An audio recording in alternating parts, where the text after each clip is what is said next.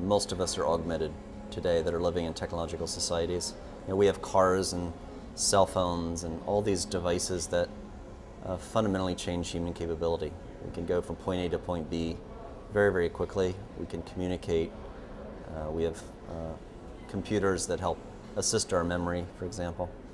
So augmentation technology is all around us. As we march into this 21st century, there'll simply be more and more technology that fundamentally change, changes our experience and what we're capable of experiencing. In today's society, we know a great deal about synthetic materials, for example, steel and plastics. We know how to architect devices out of those synthetic materials. There'll be a day, uh, you know, perhaps at the twilight years of this century, when we'll have that level of knowledge, both for synthetics as well as biological cells and tissues. You know, when that day arrives, when we go to build a machine, architect a machine, uh, sometimes the synthetic component will be better than a biological component. Some, some components that won't be the case, but a biological component will be superior to any synthetic component.